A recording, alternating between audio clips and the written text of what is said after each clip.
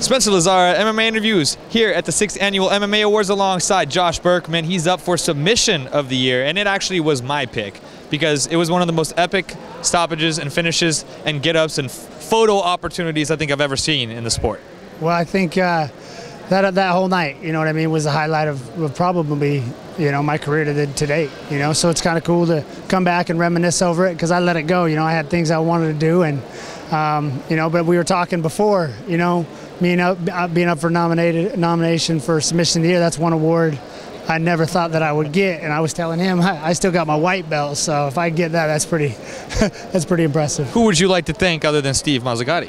Well, no, I mean, I think that's who I, who I would need to thank Steve Mazzagatti for, for having the understanding that I had the situation under control and, and letting me do my walk off. Well, I told you in the back too. Go for the guillotine. It's there. Right. It's it's wide open. Yeah, I, I wanted to, I wanted to thank you and you know, I, listen. I mean, this sport's this sport's wild, right? You just you never know what can happen. You know, and in a fight that I, I'm real nervous for you know, and uh, and I'm ready for Jon Fitch, you know, and then you have another fight where Steve Carl, where no nerves, I know I'm going to win, and you get choked out. You know what I mean? So like this sport's just wild. It's awesome that everybody gets together and celebrates that. So you've been taking some time off, I'm sure, spending it with the family. But when do you expect uh, your return?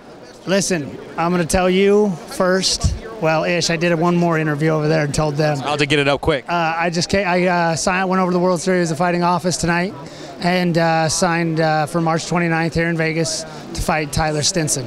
That's so, awesome, man. I get to be here. Oh, bro. He's like this tall. He's a gamer. His his arms are as long as my legs, so that's going to be a very interesting matchup. He seems to like to stand a lot, which is, is, is what you want to do. I'm going to have no problem standing with him. Yeah. Well, uh, what, what about training? You look like you've been eating a little bit good, though. Might have to slim down a little. Yeah, you know, I usually get to about 190, and then once I'm about n- nine weeks out, I get to about 85. I'm not there yet, and we're six weeks out, but I just, you know, cut out the cut out the bread and, and the pasta and more fruits and vegetables. What are the goals for 2014? Obviously, you want to get this win and build on it and, and potentially get back to that title. Right. Yeah. You know, I, I just want to uh, I want to have the best year of my career. You know, 2013 was a good year, and uh, you know I really believe that I'm getting better and better, and you know I feel like I didn't get to show that in my last performance. So so that'll be it. You know, my goal, you know, I want to get back top 10, get to the top five, and prove that I'm one of the best welterweights in the world. You know, and, and I got some work to do to do that. Can fans expect to see the third fight with Jon Fitch? Yeah, I mean that's that's I think that's my job now. You know, Fitch did his job. You know, and I think uh, there's nobody that wants the rematch more because all this talk about that submission than, than Fitch.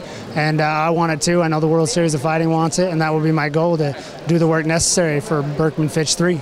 Well, it was a great moment. One of my favorite of 2013. This man up for submission of the year. Josh Burkman, Spencer Lazar. Thanks for watching. Hey, this is Arianny Celeste. This is Uriah Faber. This is Glover Teixeira. This is Dan Henderson. You're watching MMA Interviews. MMA Interviews. You're watching MMAinterviews.tv.